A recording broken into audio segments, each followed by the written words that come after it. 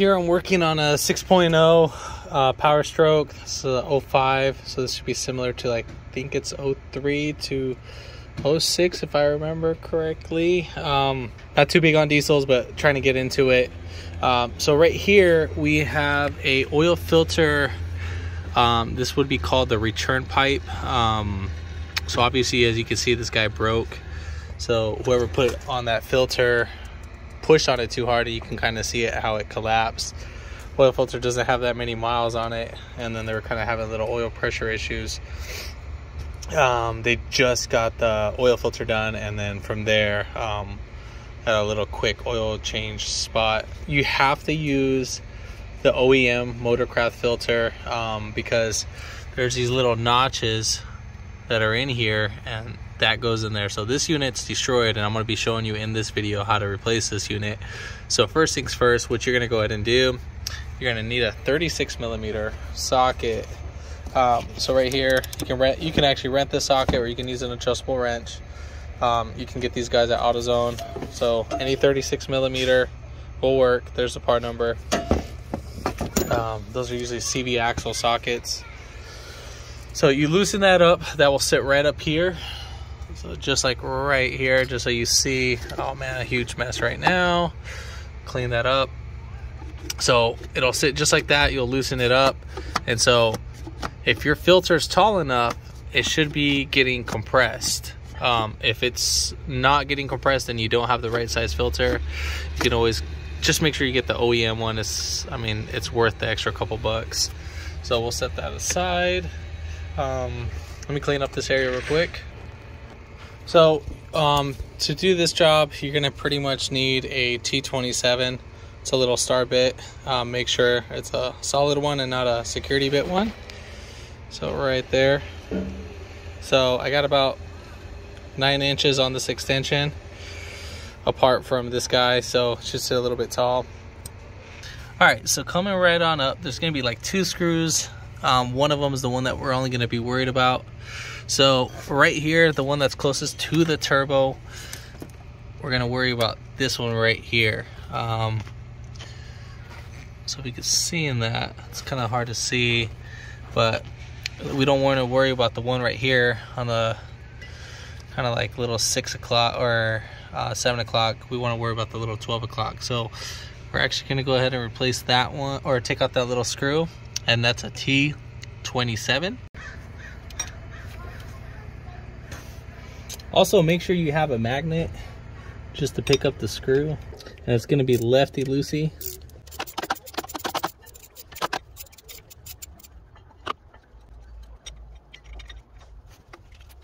So go ahead and get your magnet and just place it over right under there. And then that's the screw. I'll show you that screw right now. Usually your little kit when you do buy that should come with a new screw.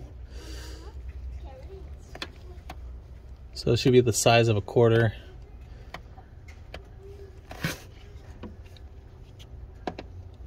And as for this guy, this guy should be lefty loosey.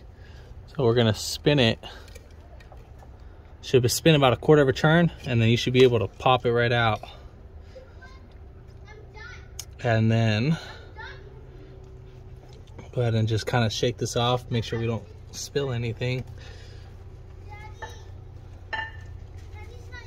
All right, so here is a little piece and you can see still deteriorating. And then we have our new one, so you can see how much complete that is compared to the other one. So probably the previous mechanic broke it and they probably noticed it, but whatever. Um, in your kit, you should get a seal and a new screw. Uh, we got this from Dorman. Not a really big fan of Dorman, but this is what we can get for right now at this time of the moment. So it's pretty crucial. If I have any issues with it right away, we're going to go ahead and turn it off and then get a replacement. The customer's just going to have to wait. I already talked with the customer on this, um, so they already approved it. So, um, also, let's go ahead and get that seal. The seal is to be right here um, in the center on the outer ring of that. Felt a little spring. All right, so but apparently we gotta get a pick. So you're gonna have to get a pick up in there and then we can pop that guy out. All right, so here's a little better angle. So here's not this little piece, here's the little outer ring right here, or a middle ring. So we're just gonna go ahead and get our pick. Just gonna pick at it and then kind of pull it away. All right, cool, so we got that popped out.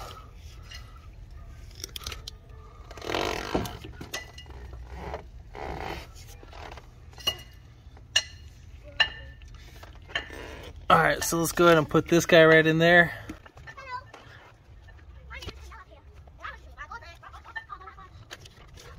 All right, so we got that guy in there.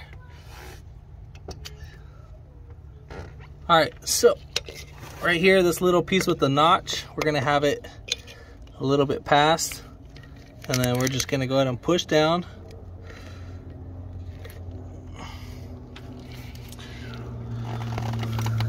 Get my hand up in there with the camera. All right, cool. So we got a little spin going on. So I'm gonna use my right hand. All right. So we're almost there.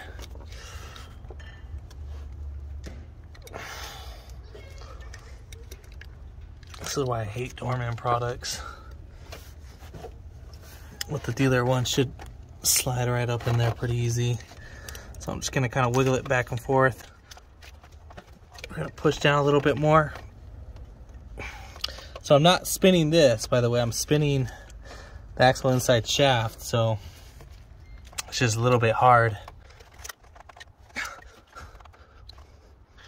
So let's get a little bit more. I'm just gonna go ahead and loosen it right up.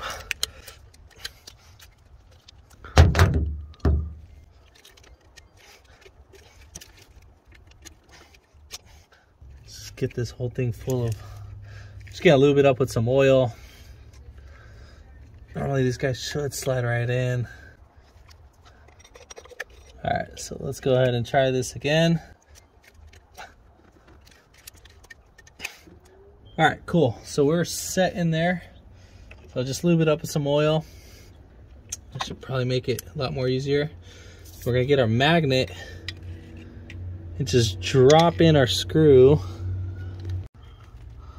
So we'll just drop in our screw just like that.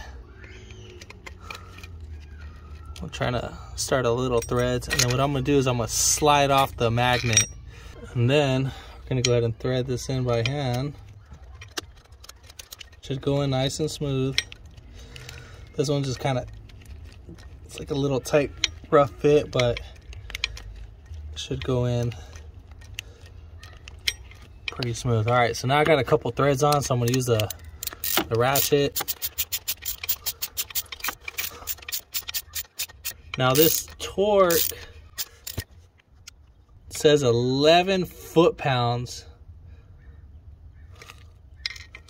To me, I think that's a lot. That's why they recommend you to replace that bolt. So for the oil filter housing return bolt, um, the one that we just tied in, it's 20 inch pounds. So right here, here's a little diagram. So if you guys wanna see that.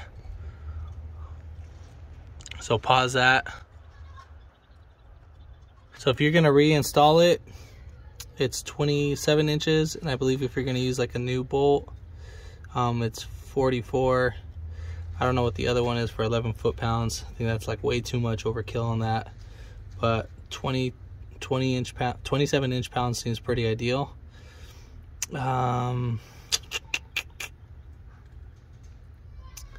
oil filter housing bolts. I mean, probably the ones around it. But, I mean, I, I would say this one, snug it in, but 27 inch or 47 inches seem pretty ideal on that. Um, but yeah, so that's pretty much it. All right, so we're gonna go ahead and take off our oil filter. Now this guy should pop right out. All right, so next thing, we're gonna go ahead and get our little you can either pinch it with your two fingers and just slide it right up, or you can use a pick. get your new oil filter o-ring. And then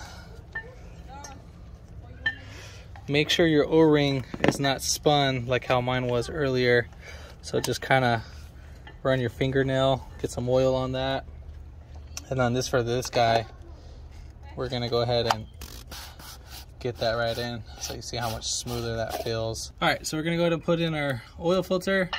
Now this guy should seat right in.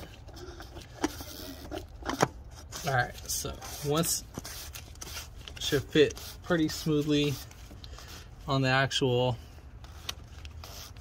oil filter got a little spring load going on and then this should be torqued down to about 18 foot-pounds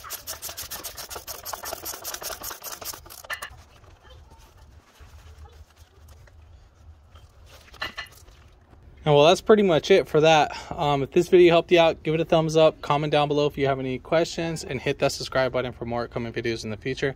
And thanks for watching.